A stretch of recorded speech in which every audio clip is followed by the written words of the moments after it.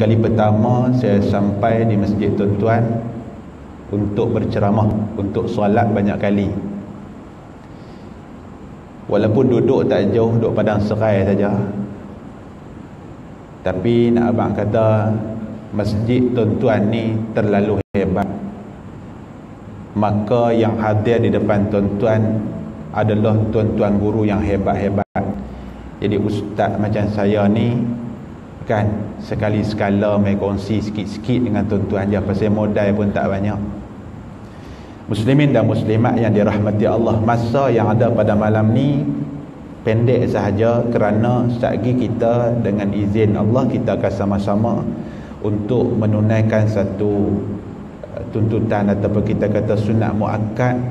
Bila berlaku gerhana bulan atau matahari maka kita disunatkan untuk solat uh, dalam lebih-lebih lagi dalam keadaan berjemaah kemudian kita nak dengar khutbah. Jadi pada malam ni insya-Allah dalam tazkirah yang ringkas ini saya nak bawa beberapa kisah daripada para sahabat Nabi ridwanullah alaihim ajma'in. Sahabat Nabi ini insan yang sangat hebat. Maka kita nak kena ambil kehebatan yang ada pada diri sahabat kita nak masuk dalam hidup kita dan kita nak amal dalam kehidupan kita.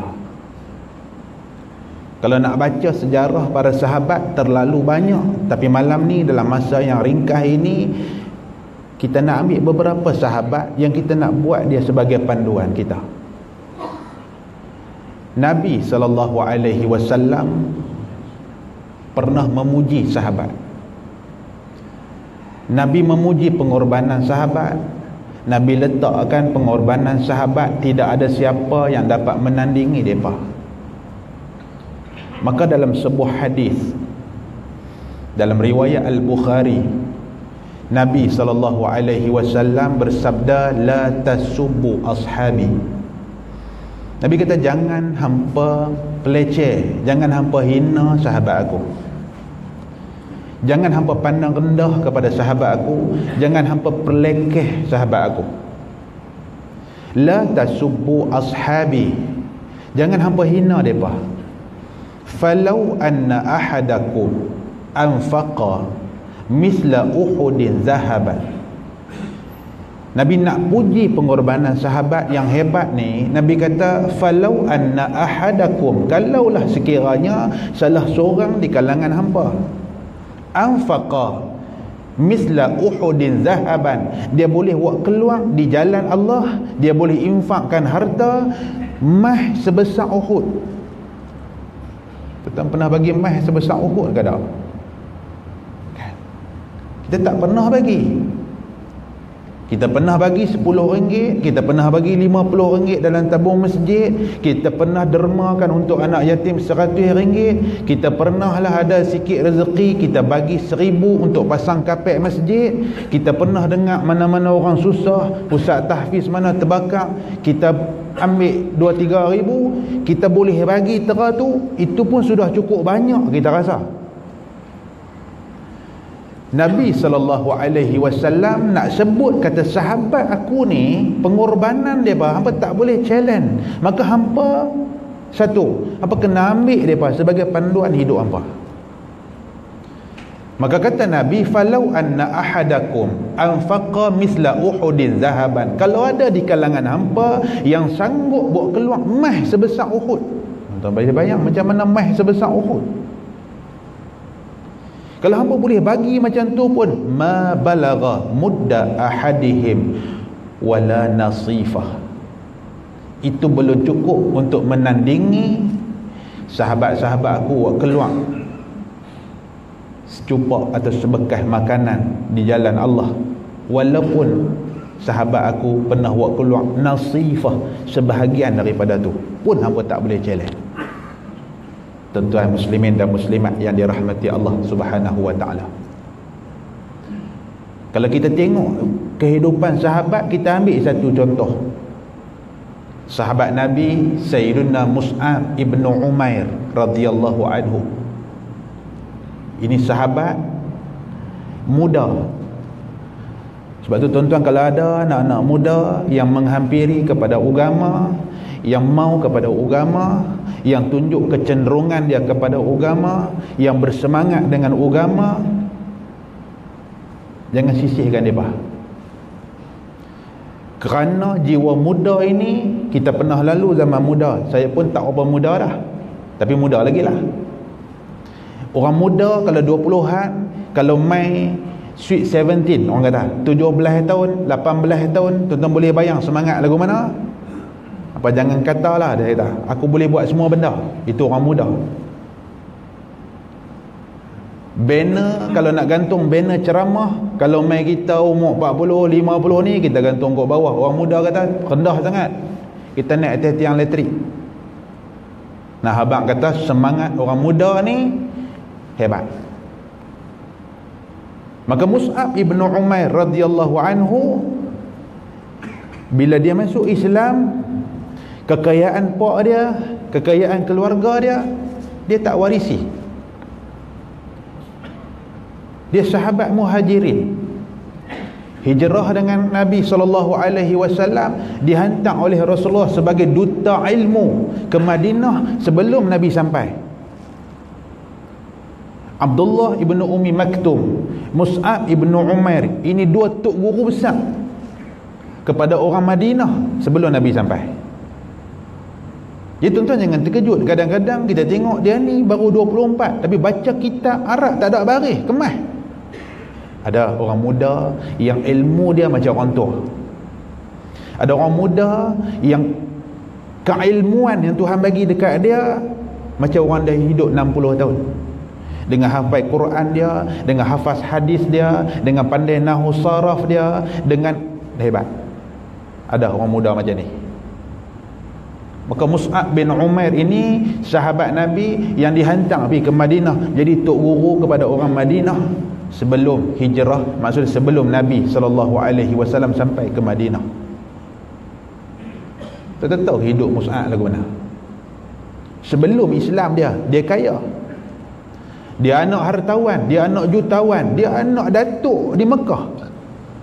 Dan bukan datuk lah, Tan Sri atas lagi dia anak satu orang kaya yang duk ada di Mekah. Tapi kerana hati dia sudah jatuh hati kepada Islam dia sudah terpaut pada Islam dia memeluk Islam mak dengan ayah dia keluarga dia buang dia. Dia tidak peduli. Kerana Islam yang ada dekat aku itu lebih mahal daripada harta pak aku tuan. Sebab tu yang ke Nabi kata tu. Nabi kata kalau sahabat aku buat keluar secupak makanan sahabat ni buat keluar segantang gandum sahabat ni buat keluar sikit je makanan di jalan Allah yang tu hampa tak boleh challenge. Walau hampa ambil sebesar Uhud mah hampa nak challenge tak boleh. Kerana cabaran sahabat lebih besar daripada cabaran kita. Waktu orang tak mau ikut Nabi sallallahu alaihi wasallam waktu tu kita duduk dengan Islam waktu orang ramai dengan Islam kita main kuliah ada juga lah orang 100 ke 150 orang. Tapi kalau kita main kuliah kita seorang kita gayat ke? Pasal nak balik eh? kan? Yang ada ustaz tu imam dua orang AJK kita. Kan? Esok tak main dah. Aku pergi cari masjid yang ramai sikit. Pasal apa? pasal berasa berasa gayat. Sahabat ikut Islam di saat orang tolak Islam Sahabat ikut Nabi sallallahu alaihi wasallam di saat orang hina Nabi. Ketika itu sahabat boleh. Maka Nabi sallallahu alaihi wasallam satu hari cerita Mus'ab bin Umair ini dalam riwayat hadis daripada Ali bin Abi Talib. Kata Sayyiduna Ali bin Abi Talib riwayat At-Tirmizi yaqulu Ali kata Ali inna la julus ma'a Rasulillah sallallahu alaihi wasallam fil masjid Waktu kami duduk di Madinah ketika kami sahabat-sahabat duduk dengan Nabi sallallahu alaihi wasallam dalam Masjid Nabawi ini. Iztala'a Mus'ab ibn Umair. Tiba-tiba Mus'ab bin Umair muncul. Tengah kami duduk dengan Nabi, muncul Mus'ab bin Umair. Ma alaihi illa burdatul lahu marqu'ah bi farwin di atas tubuh Mus'ab tidak ada pakaian yang mahal walau dia anak orang kaya dulu. Yang ada satu selimut yang duduk atas badan dia yang bertampung dengan kulit-kulit. Falamma ra'ahu Rasulullah sallallahu alaihi wasallam. Bila nabi tengok Mus'ab mai Mus'ab muncul bila nabi nampak aja Mus'ab macam tu miskin dia tak ada apa dekat dia. Baju yang dia pakai baju yang sudah lusuh yang bertampung-tampung yang koyak sana dan sini. Dia tinggal segala kekayaan Tan Sri Pak dia. Dia mai ke Madinah ikut Nabi ikut Islam dia buang semua keduniaan kerana dunia itu menyebabkan dia tak boleh ikut Islam. Dia tidak peduli. Bila Nabi tengok dia falamma ra'ahu Rasulullah sallallahu alaihi wasallam bila Nabi tengok Mus'ab bin Umair baka lillazi kana fihi minan ni'mah. Nabi menangis. Mengenangkan dia dulu satu orang yang penuh dengan kenikmatan. Baka lillazi kana fihi minan ni'mah. Maksud dia nabi teriak kerana nabi kenang dia dulu penuh nikmat dalam hidup dia. Wallazi huwal yawma fihi. Sedangkan hari ini hari itu kata Sayyidina Ali Mus'ab tak ada apa-apa. Ila akhiril hadis hadis tu panjang lagi. Tuhan bagi apa kepada Sayyidina Mus'ab bin Umair tu Tuhan bagi apa ke Mus'ab? Syahid syahid di jalan Allah subhanahu wa ta'ala. Dalam perang Uhud dalam perang Uhud di antara sahabat yang syahid ialah Mus'ab ibn Umair radhiyallahu anhu. Ni yang kata sahabat Nabi. Kita bacalah cerita sahabat mana pun. Banyak pengajaran yang kita boleh ambil. Yang ni contoh satu. Kita pernah baca cerita Abu Ubaidah Al-Jarrah radhiyallahu anhu. Abu Ubaidah ni nama dia apa? Amir. Amir nama dia bin Abdullah Al-Jarrah radhiyallahu anhu. Siapa dia Abu Ubaidah ni? Sampai Nabi pernah kata li kulli ummatin amin. Setiap umat ada pemegang amanah. Wa aminu hadhihi al-ummah Abu Ubaidah Al-Jarrah dan pemegang amanah umat ni Abu Ubaidah Al-Jarrah saya nak ringkas-ringkas ya kisah. Pasal malam ni bukan kuliah tazkirah. Kuliah tuan-tuan buka kitab baca mengaji okay, tuan-tuan dah ada kuliah sirah dah kuliah tafsir, kuliah hadis. Tuan-tuan dah dengar dah kalau tuan-tuan dengar anggap dia tazkirah. Kalau baru dengar dia sebagai satu pengajaran kat kita.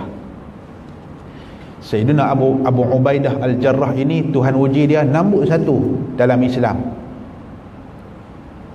Dalam perang kita baca tuan-tuan. Abu Ubaidah Al-Jarrah ini dalam perang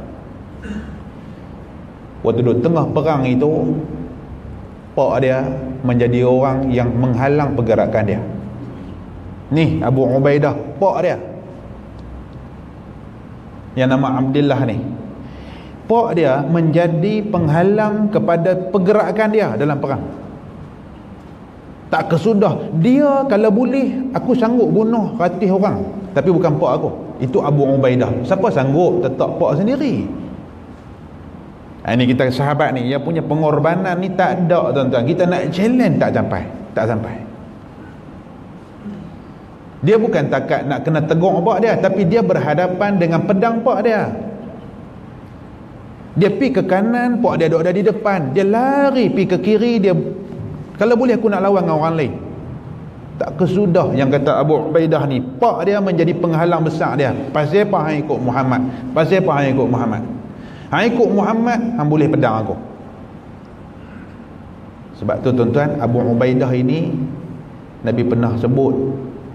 Di akhir nanti saya akan sebut. Nabi sebut tentang tindakan dia terhadap pak dia maka tak kesudah bila pak dia duk muncul dalam depan dia. Dia pergi ke mana pun ada pak dia.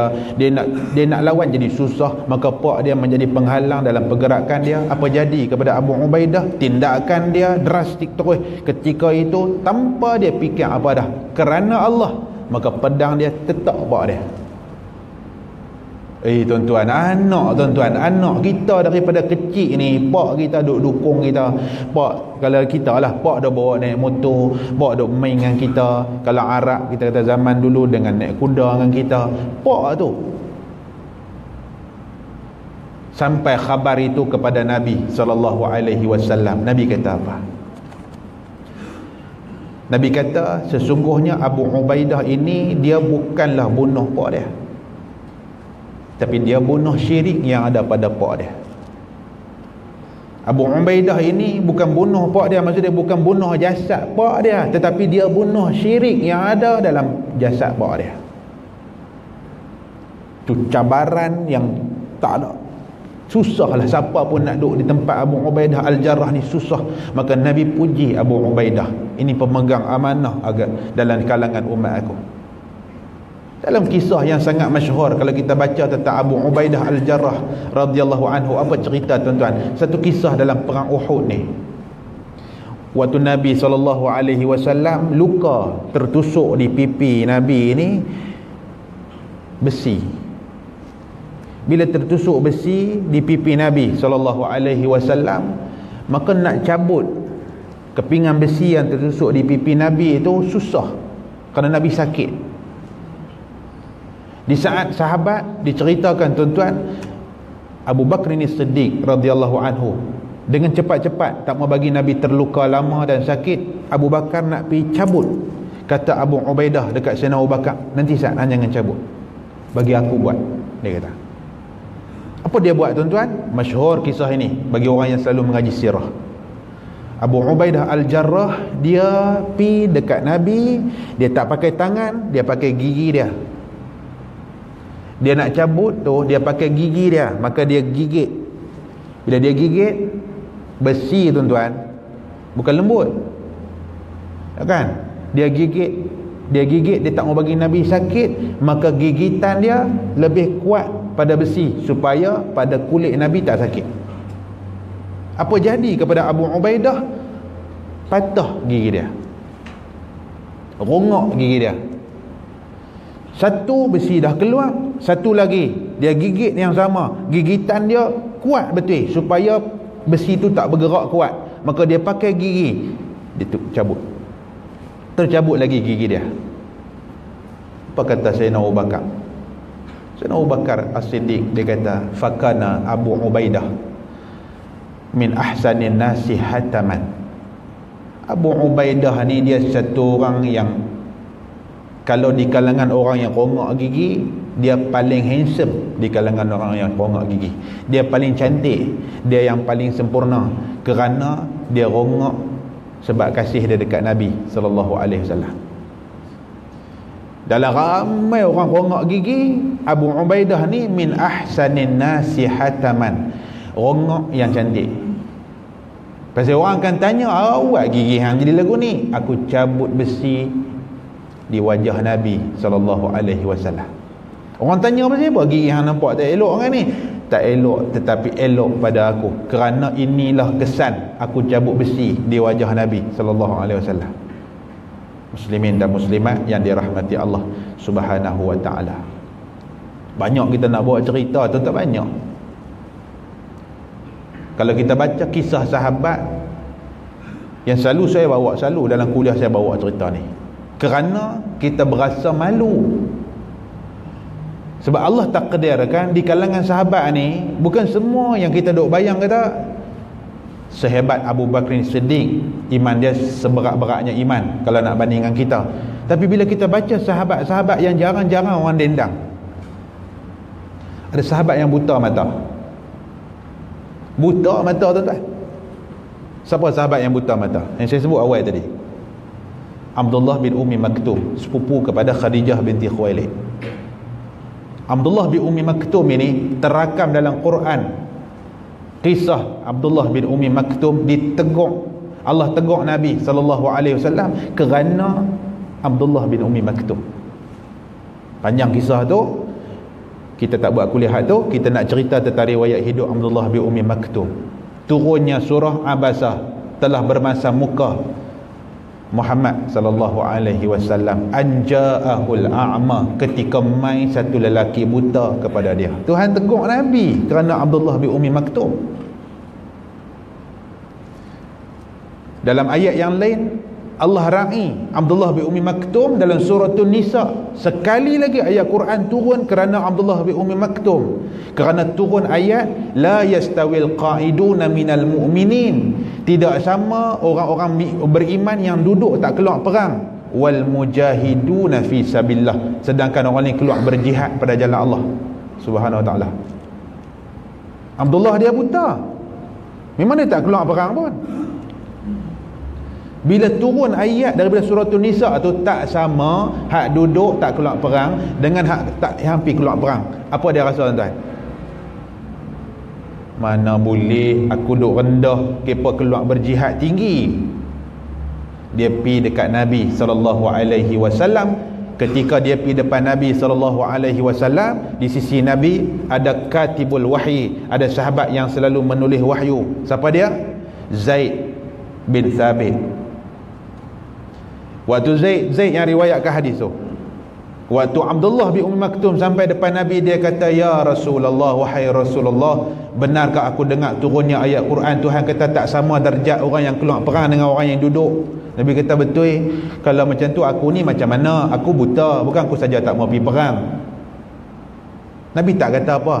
Kata Zaid ketika itu aku duduk tepi Nabi dan paha Nabi di tepi paha aku berselisih tekan paha aku tiba-tiba aku rasa paha Nabi seberat-berat benda yang duk ada.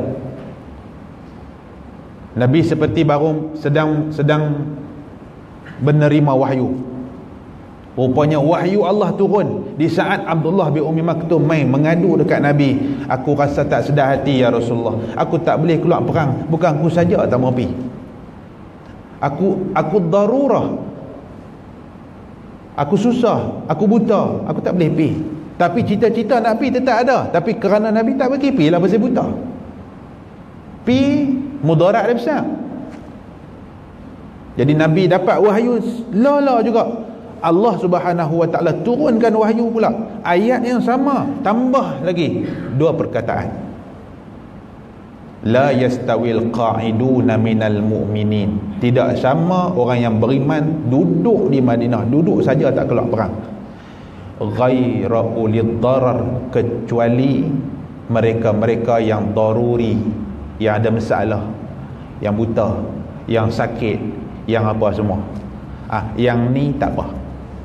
Tu Tuhan turun ayat ghaira ulid darar kerana Abdullah bin Umi Maktum yang mengadu dekat Nabi. Hebat sahabat ni. Buta mata dia. Muazzin nabi sallallahu alaihi wasallam selain daripada bilal ibn rabah radhiyallahu anhu maka bila turun ayat tu abdullah rasa apa? Rasa lega.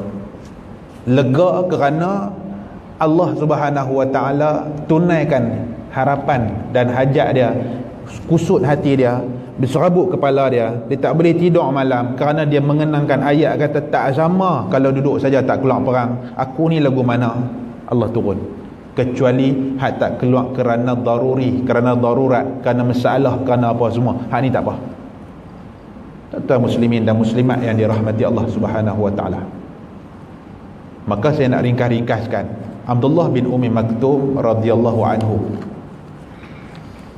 Satu rajulun a'ma lelaki buta. Anzalallahu fi sya'nihi. Allah turunkan ayat kisah tentang dia. Sita asyrata ayah ulama kata ada 16 ayat di awal surah Abasa itu cerita tentang Abdullah bin Umi Maktum yang Allah Taala tegur Nabi wasallam. Dalam surah An-Nisa saya baca dia ayat 95 Allah ra'i permintaan Abdullah bin Umi Maktum ayat 95 surah An-Nisa ketika itu tuan-tuan lega yang kata Abdullah bin Umi Maktum. Tapi tuan-tuan cita-cita nak keluar perang tak pernah padam tak pernah padam lepas tu kita baca kisah sahabat kita jadi malu. Kerana sahabat bukan takat mujahadah keluar rumah mai ke masjid. Keluar rumah mai ke masjid pun tak boleh ke mana. Hujan sikit tak sampai dah. Hujan Tak sampai masjid Tak sampai surau. Apa tak ping Hujan. Panas Panas cara panas Hangat. Kan? Tak boleh pergi dah Bukan keluar pergi perang. Mata tak buta. Tenaga tak masalah. Kereta ada dua biji depan rumah. Nampak? Kekayaan tak ada masalah. Kau tak ada duit nak buah minyak ke? Tak ada. Tapi tak sampai. Abdullah bin Umi Maktum di zaman Umar Al-Khattab radhiyallahu anhu. Tuan tengok. Nabi wafat naik Sayyidina Abu Bakar As-Siddiq wafatnya Abu Bakar ini Siddiq radhiyallahu anhu naik Umar Al-Khattab. Zaman Sayyidina Umar Al-Khattab kalau kita baca sirah memang penuh dengan pembukaan kota Islam pembukaan wilayah-wilayah Islam. Sampai baru ni saya baca bulan lepas di di surah Kuala Bekah Penagah cerita tentang pembukaan wilayah Parsi berlaku dengan rancak di zaman Umar Al-Khattab zaman Sayyidina Umar dihantar sahabat-sahabat ni keluar supaya wilayah Islam dibuka. Rom jatuh Parsi jatuh. Nabi SAW sebut di zaman Nabi masih hidup Nabi kata satu hari Parsi atau Kisra akan jatuh. Fala Kisra ba'dah. Kisra tak ada dah lepas itu. Kaisar Rom akan jatuh. Fala Kaisar ba'dah tak ada dah Kaisar lepas itu. Tak ada Rom dah start daripada zaman Sayyidina Abu Bakar As-Siddiq kemudian Sayyidina Abu Bakar tak lama menjadi khalifah wafat kemudian naik Umar Al-Khattab zaman Sayyidina Umar Al-Khattab rencak Sahabat-sahabat yang dihantar seperti Khalid Al-Walid. Oh ini luar biasa. Khalid Al-Walid ni yang kalau pimpin tentera Islam menang saja. Menang saja. Iraq waktu tu, Baghdad waktu tu yang duk ada bawah jajahan apa nama Parsi, Kisra. Raja Kisra ni jatuh. Dibuka sikit, sikit, sikit. Ini kita nak baca tentang Abdullah bin Umm Maktum ni kita kena faham sirah dia dulu. Baru kita nampak. Khalid Al-Walid dihantar sahabat-sahabat Nabi semua ada yang dihantar dihantar sehingga terbuka wilayah Islam tuan muslimin dan muslimat yang dirahmati Allah tahun 14 Hijrah bila tentera Islam nak gempur tentera Parsi? Dalam kitab Bahrul Mazi jilid 15 cerita macam mana nak buka wilayah Parsi. Ulama sebut tentera Islam 30 ribu plus plus. 30 ribu lebih-lebih sikit. Kan? Tentera Parsi yang ada pada ketika itu 200 ribu hampir 200 ribu. Matematik punya kira tentera Islam 30 ribu kena berhadapan 7 orang atau 6 orang. Tu je punya sifir dia. Tapi Islam punya sifir fa iza azamta fatawakkal 'ala Allah. Tu Islam punya sifir berjihad. Tu orang berjihad jalan Allah dia tak ada istilah eh kalau-kalahnya lah. Tak ada, tak ada menang. Hang pi tu satu kemenangan. Menang apa? Hang sudah tundukkan nafsu hang hang sudah tundukkan pengaruh syaitan dalam hidup hang hang sudah bawa Islam ke medan jihad. Hang sudah menang. Tapi kalau menang hak material ni hak nampak kemenangan ni itu semua anugerah. Kalau tak menang tak menang pada mata musuh tetapi syahid di, di sisi Allah subhanahu wa ta'ala 30 ribu berdepan dengan tentera Kisra yang lengkap tuan lengkap selengkap-lengkapnya. Kuda, unta, pemanah segala kelengkapan perang, pedang dan sebagainya. Allah tuan-tuan. Dua kuasa besar waktu tu dalam dunia Kisra dan Kaisar ini. Rom dan Parsi ini. Tidak ada satu kuasa lain yang boleh kalahkan mereka waktu itu tiba-tiba mereka dengar Arab Padang Pasiak nak main lawan dengan kita. Apalah sangat Arab Padang Pasiak ni? Mereka kata. Mereka tak tahu. Orang Islam seperti Sayyidina Abu Bakar pernah sebut nahnu qaumun a'azzanallah bil Islam. Kita kaum yang Tuhan muliakan kita keran dengan Islam. Parsi ni tuan-tuan dia pada baca Arab ni apa Arab ni apa niaga berkeli sama depa rebut jawatan rebut takhta bukan dia reti buka wilayah. Dua kuasa besar waktu tu yang pandai jajah orang ni Kaisar dengan Rom saja. Kaisar gelaran kepada Raja Rom apa nama Kisra gelaran kepada Raja Parsi. Dua ni je. Kaisar dengan Kisra je dengar-dengar kata Arab nak mai daripada sana no daripada Madinah no nak mai lawan dengan kita di, di, di, di wilayah kita. Tak ada masalah. Depa punya mindset lagu tu. Saya ringkaskan. Nak buka Parsi ni tuan-tuan bukan sehari. Bukan. Tu hari ni kalau kita pergi ke, ke Arab tuan-tuan kalau tuan tak sampai pun tuan-tuan tengok dalam peta dunia ni jazirah Arab hak kita pergi Mekah Madinah ni peta dia kan macam macam tu macam petak sikit lagu tu. Tuan ambil satu pensil satu garis naik ke atas ke sebelah timur tu semua Parsi punya. Termasuklah Iraq dan sebagainya. Membawa kepada Iran dan wilayah yang kita sebut hari ni negara yang ada hari ni atas peta dunia Kazakhstan, Uzbekistan lah apa semua. Tu semua wilayah tu 1400 tahun dulu Parsi punya jadi hak pensil tuan-tuan garis itu yang ke sini dan ke atas sana sampai hari ni kita pergi ke Eropah apa semua tu itu semua Kaisar punya, Rom punya. Allah takdirkan Islam mai ke ke jazirah Arab ke Mekah bumi batu yang tak ada apa tu. Lahir Muhammad sallallahu alaihi wasallam bawa Islam Islam diperangi, Islam dimusuhi. Lepas 13 tahun, orang kata Muhammad lari, penakut. Tak, Muhammad bukan lari. Atas perintah Allah, dia pergi ke Madinah, cari kekuatan baru, strategi baru. 10 pergi ke Madinah selepas 13 tahun. 10 tahun Nabi Muhammad SAW duduk di Madinah, orang sangka dia boleh kalah. Orang Madinah ni lembut-lembut. Dia bersilap. Dia silap kerana apa? Kerana kita baca dalam sirah orang Madinah yang lembut, yang peramah, yang murah hati. Orang Madinah memang Allah takdirkan macam tu. Sesuai dengan nama asal Madinah Taibah. Taibah negeri baik. Orang pun baik-baik, hati pun murni. Sahabat muhajirin mai, aku ada dua bini, hang pilih mana hang suka. Aku cerai, habis yang Idah ambil kan.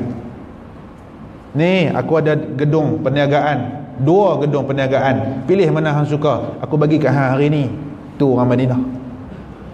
Tapi hak bunuh Abu Bakar eh, hak, hak bunuh Abu Jahal siapa dia? Ha, pemuda daripada Ansar. Dua pemuda daripada Ansar yang tetap Abu Jahal. Muda terang-tang-tang. Tanya dekat pak cik. Pak cik Abdul Rahman bin Auf dia kata pak cik mana satu Abu Jahal ni? Hak kami duk dengar lawan Nabi Muhammad sangat ni. Kami nak tengok dia. Abdul Rahman kata cari orang lain kot dalam perang ni dalam perang badar cari orang lain lah ramai lagi. Tak kami nak tengok yang mana Abu Jahal yang kata sakan sangat ni. Nah, dibunuh oleh dua orang pemuda ansar. Baik. Bila Parsi dengar-dengar Allah harap je nak main lawan kita apalah sangat Arab ni akhirnya apa? Dia duk pandang rendah. Allah Subhanahu wa taala takdirkan Islam ni terbuka terbuka terbuka. Nah Islam wilayah Islam terbuka akhirnya apa jadi? Jatuh yang kata Parsi ni kepada Islam.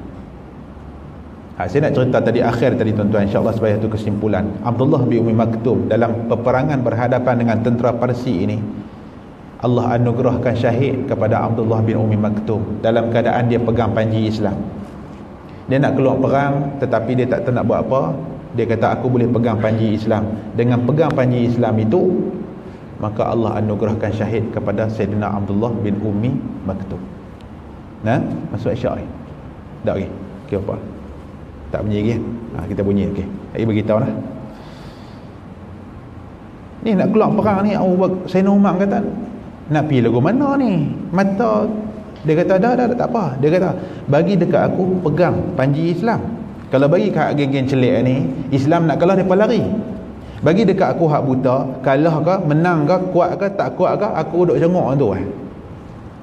Logik juga alasan tu. Maka diizinkan oleh khalifah pi dalam peperangan tiga hari tiga malam ni tuan-tuan dijumpai Abdullah bin Umi Maktum syahid dalam keadaan memeluk panji Islam. Dia tak lepas panji Islam sebab dia janji dah dengan khalifah apa jadi dekat aku? Panji aku tidak lepas. Syahid tuan-tuan. Eh tuan-tuan sahabat Nabi yang buta mata pun syahid kita lagu mana? Sebab tu kalau kita baca sirah satu benda yang terlintas di fikiran saya Allah subhanahu wa ta'ala sengaja mentakdirkan hidup sahabat yang pelbagai. Ada hak macam ni ada hak buta tapi Tuhan bagi syahid. Supaya kita tak ada alasan. Alasan apa yang kita nak bagi depan Allah subhanahu wa ta'ala? Ya Allah aku daif aku lemah. Lemah apa? Lemah iman. Tak ada alasan apa kita nak bagi depan Allah subhanahu wa ta'ala. Kerana para sahabat ni Allah takdirkan hidup dia macam-macam muslimin dan muslimat yang dirahmati Allah. Itu itu cerita di kalangan para sahabat. Akhir ya tuan-tuan akhir. Di antara sahabat Nabi yang riwayat hidup penuh dengan penentangan pada Islam. Selalulah kita dengar pun. Yang saya sebutlah tadi pak dia dibunuh oleh dua pemuda daripada Ansar. Anak kepada pemuka Quraisy yang paling meluat dekat Nabi Muhammad sallallahu alaihi wasallam Abu Jahal. Nama yang terkenal ah ha? Sayyidina Ikrimah anak kepada Abu Jahal. Kita bagi laluan pada azan dulu. Saya saya sambung tutup 5 minit lepas tu kita akan sembahyang. Nah kita bagi laluan pada azan dulu. Silakan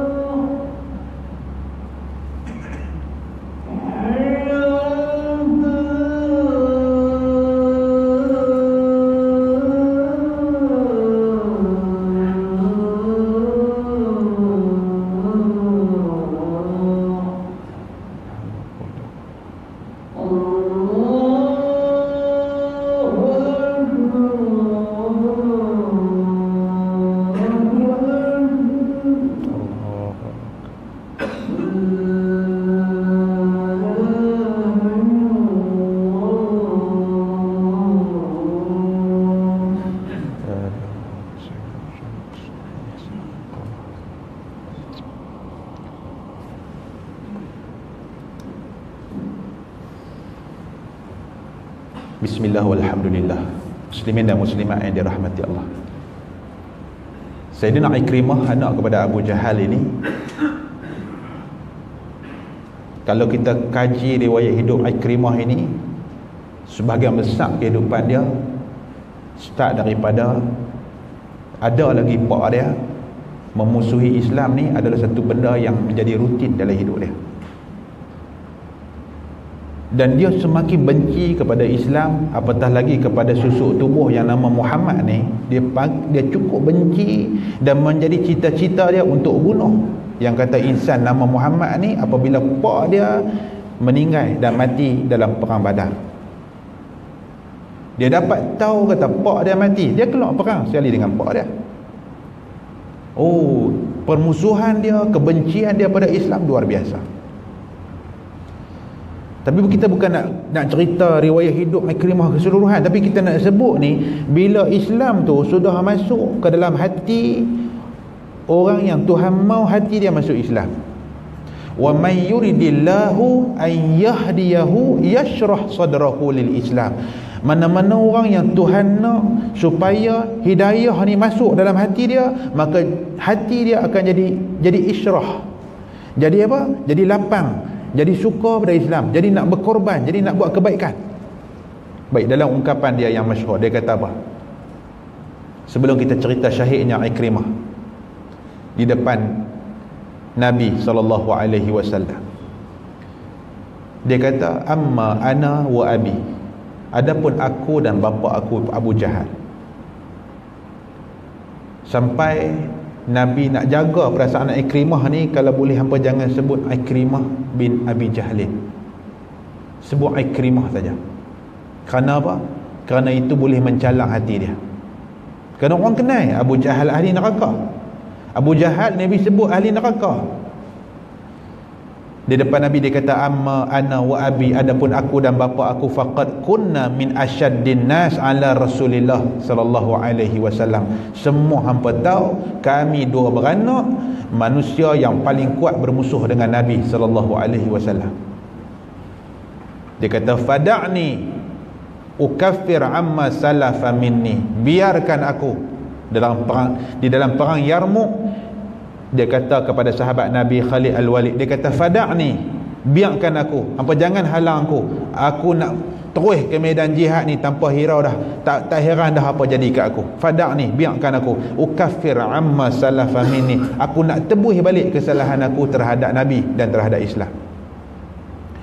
Maka dalam perang Yarmuk di Jordan Yarmuk ni satu wilayah di Jordan dalam perang yang begitu dahsyat yang kita baca sirahnya tiga sahabat Nabi tiga sahabat ni yang cedera parah ni. Ayyash bin Abi Rabi'ah Harith atau Al-Harith bin Hisham dan Ikrimah ini. Tiga-tiga parah. Tiga-tiga nak berkorban untuk sahabat. Tak mau minum air yang parah ni tak mau. Kerana ada sahabat yang lebih parah dia suruh bagi kat seorang lagi seorang lagi pun dia tak mau dia nak bagi kat kawan dia. Seorang lagi akhirnya tiga-tiganya meninggal dan syahid. Inilah kisah Ikrimah di depan Nabi SAW waktu Nabi masih hidup ketika itu dia kata kepada Nabi dia kata ya Rasulullah kalau sebelum ni aku pernah mengeluarkan harta di jalan menentang Islam fi saddin an sabilillah maka dengan Islam aku aku bersumpah demi Allah aku akan gandakan dua kali ganda infak harta aku untuk menangkan Islam. Kalau sebelum ni aku keluar perang untuk lawan Islam aku janji dengan nama Allah aku akan keluar perang untuk bela Islam dua kali ganda. Inilah sahabat Nabi yang hebat-hebat Tuan muslimin dan muslimat yang dirahmati Allah Kesimpulan akhirnya dalam tazkirah ringkas kita pada malam ini tuan-tuan Sebelum saya baca sedikit kaifiah kita nak melaksanakan uh, tuntutan solat uh, khusuf al-qamar ni Gerhana bulan Kesimpulan akhirnya. Maka tak heran hadis yang saya baca di awal tadi Nabi kata Ashabi, sahabat-sahabat aku ni Mereka infakkan harta di jalan Allah Walaupun nampak kecil di mata manusia. Tuhan ni lah besar Depa buta tetapi depa boleh keluar di jalan Allah. Allah anugerahkan syahid. Ada di kalangan depa tinggal kekayaan keluarga tetapi Allah memandang itu sebagai benda yang sangat besar. Allah anugerahkan syahid. Ada sahabat yang diuji Allah tangan dia terpaksa tumpahkan darah pak dia, pak kandung dia. Allah Subhanahu wa taala anugerahkan ganjaran yang besar-besar pada sahabat ni. Jadi kesimpulan dia tuan-tuan mudah-mudahan apa yang kita dengar pada malam ni memberi manfaat. Kehidupan sahabat ni kita jelmakan dalam hidup kita. Mudah-mudahan mujahadah kita yang tak tahu mana yang kita rasa ni tuan-tuan Allah pandang. Bila Allah pandang mujahadah kita itu anugerah dia besar. satu kisah masuk paper tadi tuan-tuan. Satu imam meninggal waktu waktu jadi imam. Sembahyang rakaat ketiga lah. Sembahyang zuhur kan? Rakaat ketiga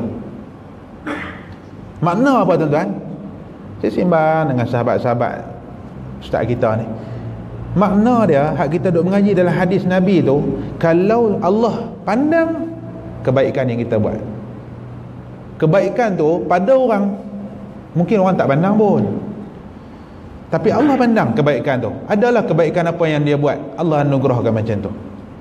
Satu video di negara Arab manakah? Macam tu juga. CCTV dalam masjid duk tengok dia semayang semayang semayang habis waktu sujud. Habis waktu sujud. Ada hak meninggal dalam sembahyang ada yang meninggal selepas sembahyang tak. Macam-macam tuan-tuan. Ini semua pengajaran kat kita. Mudah-mudahan Allah pandang kebaikan kita dengan pandangan rahmat. Pandangan rahmat yang Tuhan pandang tu adalah nilai di sisi Allah. Mudah-mudahan kita tahu kita tak tahu mana amalan ibadat kita tak banyak mana. Tetapi kalau Allah pandang dengan pandangan rahmat dia anugerahkan pada kita.